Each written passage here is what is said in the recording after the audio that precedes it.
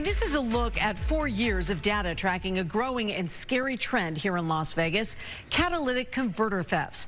Metro Police reported just five of them in 2018.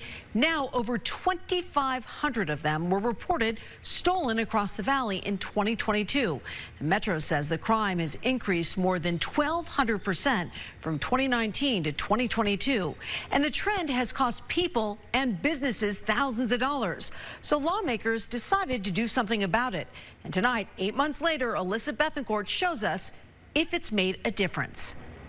Catalytic converters are worth a lot of money. That is why thieves started stealing them in the first place. But a state law that went into effect last October seems to be pumping the brakes on a crime that swept through southern Nevada.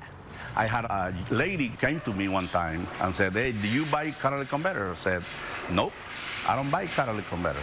I sell it when I have some. And she was a police officer undercover. It was a close call for Sammy Pena, who has worked as an auto mechanic for 35 years. At his shop in North Las Vegas, he fixes cars up and also buys them. More than anything, he understands how they work. So when catalytic converters started getting stolen at an alarming rate in Las Vegas back in 2020, he knew exactly why. They can make big bucks out of it.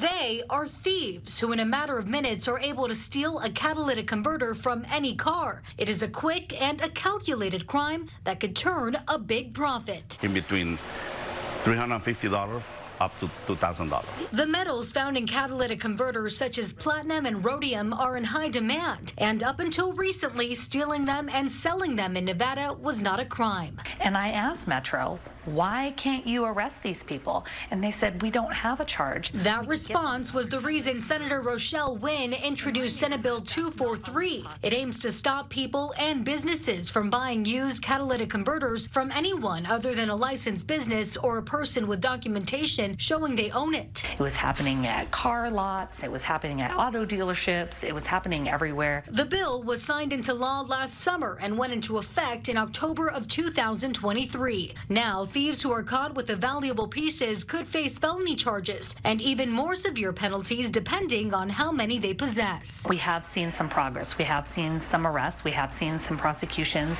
when it comes to catalytic converter theft, which is what should be happening. And it's a change Sammy says he's noticed too. Do you think a law was needed to regulate Oh, theft? yes. Oh, yes. Now, Metro Police actually stopped tracking the number of catalytic converter thefts at the end of 2022 because tracking became so time consuming. I'm currently in the process of submitting a request through the department to access more detailed data on the crime. Reporting in Las Vegas, I'm Alyssa Bethencourt. And there are things you can do to try and prevent your catalytic converter from being stolen.